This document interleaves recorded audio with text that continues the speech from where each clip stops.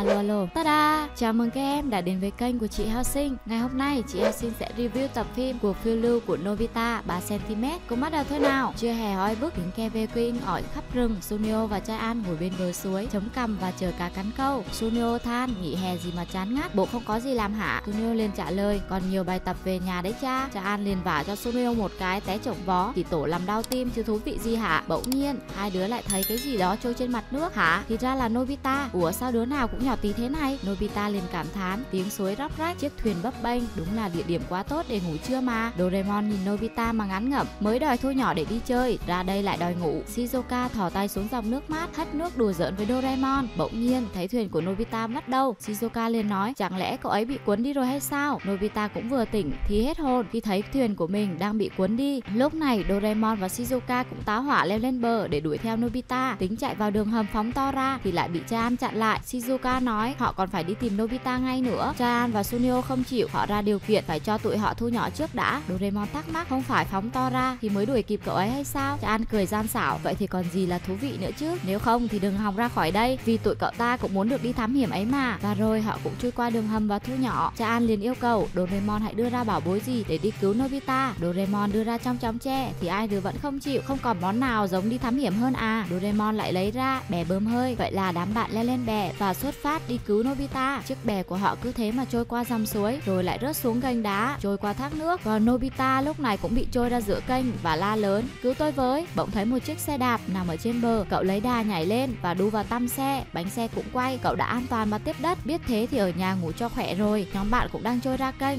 Cha An nói, lẽ nào Nobita bị sinh vật cổ đại sơi rồi chăng? Juno liền thêm vào, thế thì lại càng tăng thêm kịch tính. Bỗng nhiên, một con quạ bay trên đầu họ, rồi nó lại lao xuống tấn công mọi người. Nobita nghe tiếng hét thì nhìn ra, cha An vẫn đang cầm mái chèo để chiến đấu với con quạ. Suno liền dục Doraemon hãy mau nghĩ cách gì đi. Nobita liền chạy lên cao, đẩy chiếc vỏ lon lan xuống đống lon còn lại. Cơn mưa ve chai rớt xối xả trên đầu đám bạn, còn đèn pin thu nhỏ cũng đã bị rớt xuống kênh. Nobita hét to cho mọi người hãy bám vào bánh xe. Lần lượt từng đứa lấy đà và nhảy lên. Nobita liền hỏi còn cách nào trở về nhà nữa hay không? Doraemon buồn bã, đèn pin phóng to đã bị rớt rồi, chỉ còn cách chui qua đường hầm thu nhỏ mà thôi. Và giờ các bạn đã bị trôi khá xa rồi, từ trên núi mà trôi xuống kênh luôn. Gan liền hét lên, thế mới gọi là thám hiểm chứ. Trên trời, con quạ vẫn đang bay để tìm kiếm con mồi. Chan dẫn đầu, rủ bám bạn phải đi bộ theo cậu. Đám bạn cũng rũ rượi theo sau. Nobita khát khô cả cổ thì thấy một tiệm kem ở phía trước. Chan liền lên kế hoạch, Nobita và Doraemon sẽ theo tới để đi lấy kem, còn Sunio ở lại chi tiền. Hả? Kế hoạch gì vậy hả chơi? Sunio than thở. Họ đi vào tiệm tạp hóa. Sunio lấy súng ra và bắn đồng xu lên bàn. Đồng xu này bé tí tẹo như một hạt gạo, không biết ông chủ có nhìn thấy không hay nữa. Lúc này, cha An cột dây vào bụng của Nobita, rồi lại thả ròng rọc cho lỏng dây ra, đẩy Nobita xuống dưới tủ kem. Nobita hết hồn, lạnh quá không chịu nổi luôn. Cha An còn nói vọng xuống, nhớ lấy vị vani nghe chưa? Nobita cột dây quanh hộp kem, rồi ra tín hiệu cho đám bạn kéo lên. Vừa kéo hộp kem lên được thì Nobita cũng té sấp mặt đè lên cả người của Doraemon và cha An nữa. Đám bạn cùng nhau đẩy hộp kem ra ngoài một gốc cây, mở nắp ra ăn thôi. Họ cuốn chiếc lá làm muỗng, búc ăn từ miếng ngon lành. Suno liền hỏi chúng ta còn cách ngọn núi bao xa vậy? Doraemon lấy bản đồ ra xem thì còn tầm 1 km nữa mà bị thu nhỏ 50 lần như thế này. Nobita thắc mắc, ủa vậy là bao nhiêu? Junio liền nói là 50 km đó đồ ngốc ạ, à. chắc phải một ngày mới tới được. Nobita muốn nằm luôn đây cho rồi. Chợt Doraemon lại ra ý hay, cậu lấy nắp kem, lật ngửa lại và gọi các bạn hãy nhảy lên, rồi dùng vô lăng vạn năng gắn nó vào, kêu các bạn hãy ngồi xuống, bám vào thành và bay lên thôi nào. Họ bay qua mọi ngóc ngách của con phố, các bạn ai cũng khoái lắm. Ra ăn ước có xe thám hiểm thì lại ngon, nhưng Sunio nói bây giờ có cái gì mà trả được vì cậu còn phải về nhà trước khi trời tối. Zuka cũng nhớ ra mình còn buổi học piano nữa, vậy thì nhanh tốc độ thôi. Tới công viên, đường tắt nhanh nhất để lên núi, nhưng phải băng qua tụi con nít đang chơi mới nguy hiểm. Thế nào cũng bị chúng bắt lại cho mà xem. Chan giọng hùng hồn, đi thôi, chân chứ gì nữa. Họ chậm chạp chui vô gầm ghế, rồi lại phóng nhanh tới bụi hoa phía trước. Không ngờ một quả bóng lao ra, làm cả đám bạn bị văng vào trong bụi. Còn Chan đã bị một cậu nhóc bắt được. Cậu bé tưởng đó chính là một con bọ có tiếng kêu kỳ lạ thì cậu ta thích lắm. Tụi Doraemon cũng hốt hoảng đuổi theo nhưng lại mất dấu rồi. Doraemon lấy ống nhòm ra thì thấy cha An đã bị nhốt ở trong một chiếc hộp kính đặt ở trên băng ghế dài. Cha An gào lên thả ta ra thì một con bọ ngựa xuất hiện ngay phía sau cậu. Các bạn rất lo lắng cho cha An. Shizuka liền nghĩ ra cách hay là mình đổi cánh hoa để đi ra. Xíu chút nữa thì bị cô bé kia phát hiện đang đi thì cánh hoa của Nobita cũng bị gió thổi bay mất. Cậu vội vàng núp sau cái vỏ lon. Tụi Doraemon cũng leo lên được chiếc ghế. Gan lúc này cố tỏ ra mạnh mẽ nhưng lại rất sợ con bọ ngựa kia. Nhóm bạn cũng cố gắng xô đổ chiếc hộp xuống đất. Vì thế mà cả bọ ngựa và cha An đều thoát được. Tiếng kêu rất quen thuộc. Vừa nhìn lên lại là con quạ. Nó đang xà từ trên trời xuống chiếc hộp. May quá, Nobita đã lái xe bay tới. Nhóm bạn cũng vừa trèo lên, bay như điên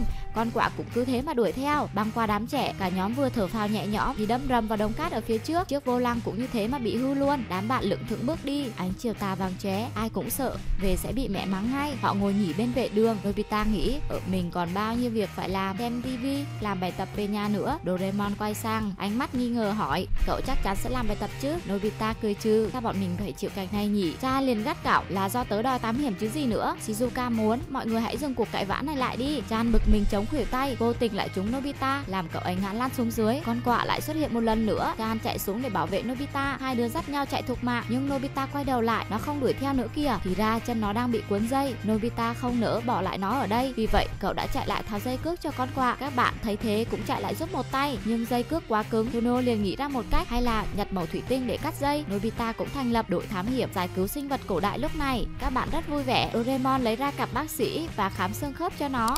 Không có vấn đề gì hết, chỉ cần băng bó vết thương lại thôi. Doraemon liền lấy tai nghe động vật ra. Con quạ muốn trả ơn cho các bạn, nên nó đã không bay đi. Doraemon nói lại tiếng quạ. Và rồi, đám bạn nhất trí cùng leo lên lưng nó và bay về phía núi. Các bạn lúc này cũng rất vui và hào hứng. Cuối cùng cũng sắp được về nhà rồi. Chan nghĩ thám hiểm kiểu vậy là đủ rồi đấy. Không cần dài thêm nữa đâu. Các bạn cũng cười ầm lên. Mặt trời sắp lặn xuống núi. Nhóm bạn đã kết thúc một ngày hè đầy thú vị phải không? Tập phim đến đây là hết rồi. Cảm ơn các em đã theo dõi video của chị. Nếu thấy hay, hãy nhớ like và bình luận ở phía bên dưới. Hẹn gặp lại các em ở những tập phim tiếp theo. Xin chào tạm biệt.